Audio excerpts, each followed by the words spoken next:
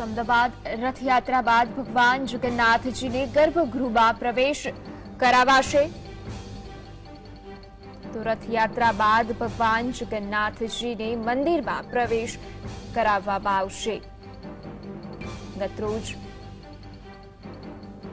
રથયાત્રા નિજ મંદિરે પરત ફર્યા બાદ હવે આજે ભગવાન જગન્નાથજીને ગર્ભગૃહમાં પ્રવેશ કરાવવામાં આવશે. તો ગતરોજ એકસો પિસ્તાળીસમી રથયાત્રા ધામધૂમપૂર્વક આયોજન કરાયું હતું. સાંજે નિજ મંદિરે રથયાત્રા પહોંચ્યા બાદ હવે આજે ભગવાન જગન્નાથ, બહેન સુભદ્રા અને ભાઈ બલભદ્રના રથ મંદિર બહાર વિતાવી હતી. હવે આજે તેમને ગર્ભગૃહમાં પ્રવેશ કરાવાશે. તો આ જ અંગે વધુ જાણકારી સાથે સંવાદદાતા ઝલક આપણી સાથે જોડાયા છે. જે ઝલક હવે જે ભાઈ બલરામ, બહેન સુભદ્રા અને ભગવાન શ્રી કૃષ્ણને ગર્ભગૃહમાં પ્રવેશ કરાવવામાં આવશે, શું વધુ જાણકારી?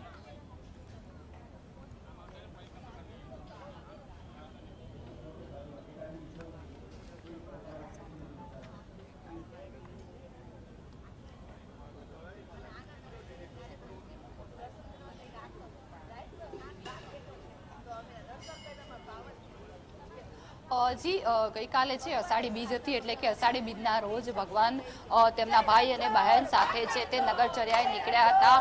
નગરચર્યાએ નીકળ્યા બાદ તેઓ મંદિરે પરત ફર્યા અને જે રથમાં જ છે તે આખી રાત વિતાવી. તમે જોઈ શકો કે હજુ પણ જે ભગવાન છે તે ભગવાન ત્રણેય ભગવાન છે તે રથોમાં બિરાજમાન છે. એવી લોકવાયકા છે કે જ્યારે ભગવાન બહેનને લઈને નગરચર્યાએ નીકળ્યા અને પરત આવ્યા ત્યારે રૂકમણીજી નારાજ થયા હતા અને તેઓએ છે તે દ્વાર ખોલ્યા ન હતા. પરિણામે છે તે ભગવાનને છે તે આખી રાત છે તે રથની અંદર જ વિતાવવી પડી. હવે આજે જે વિધિ વિધાન કરીને જે ભગવાન છે તે ભગવાનનો ગર્ભગૃહમાં પ્રવેશ કરાવવામાં આવશે. તમે જોઈ શકો છો કે જે રથયાત્રામાં જ્યારે ભક્તોની ભારે ભીડ હોય છે ત્યારે જે કેટલાક દર્શનાર્થીઓ છે તે દર્શન કરી શકતા નથી.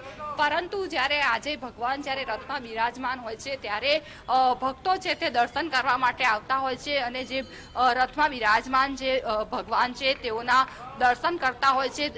સવારથી જે ભક્તો છે તે ભક્તો દર્શન માટે આવી ચૂક્યા છે. આપણે વાત કરીશું દર્શનાર્થીઓ સાથે.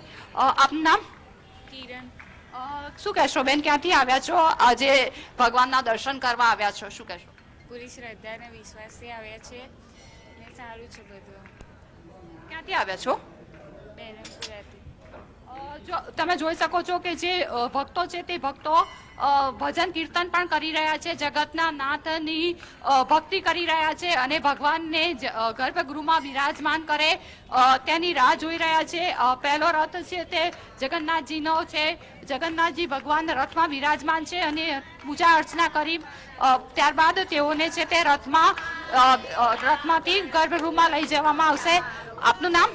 દાદા ઊંચા જય શ્રી કૃષ્ણ. દર્શન કરવા આવ્યા છો? બહુ બહુ આનંદ થાય છે બહુ આનંદ થાય છે. અમે કાલ તો આવી ના શકીએ મારી ઉંમર પ્રમાણે હવે. એટલે જે અત્યારમાં અમે તોય નહોતો અમે રાતના નવ વાગે નક્કી કરીને નીકળ્યા. સવારમાં વહેલા કીધું હાલો આ તો જેવી પ્રભુની ઈચ્છા.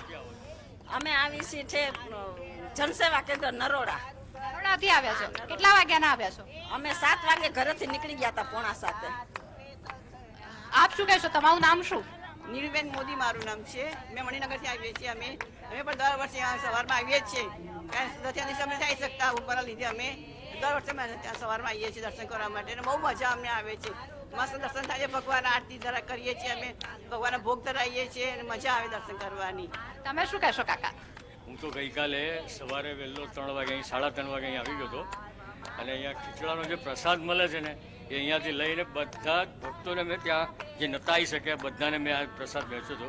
અને આજે સવારે પણ સવારે પણ એકદમ ઈચ્છા અંતરથી જ ઈચ્છા થાય કે ચલો ભગવાનના દર્શન કરવા જઈએ. મેં ચલો વહેલા વહેલા જઈએ જ્યાં અને અહીંયા અમારી બધી જ મનોકામના લગભગ બધી પૂરી થઈ જતી હોય છે. અને અમે માગતા માંગતા જ નથી ભગવાન પર ભગવાન બધું આપી જ દે છે. સાથે ને સાથે હોય છે.